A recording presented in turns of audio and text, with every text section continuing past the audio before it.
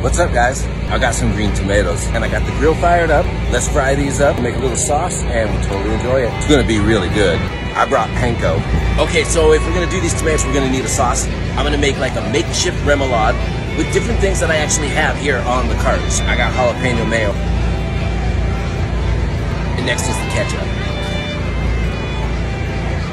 Gotta have a little mustard for the tang.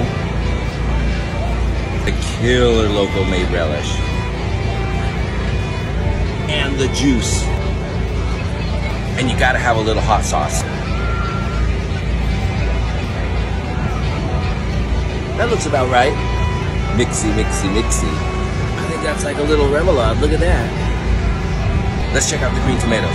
Now these are made locally here in Reno, Nevada. It's a Nevada brining company. A friend of mine, Matt, he's the brine master. Oh, look at these. Wow. Would it be wrong if I tried one right now?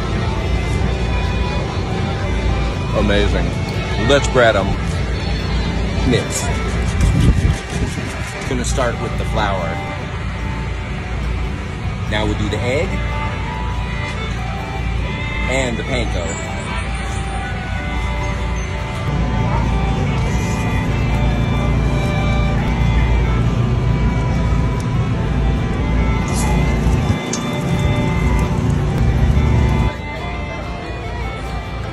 Let's try them. So I got the sauce. I got my pickled fried green tomato. Mm. That's heavenly. Guys, this is insanely good.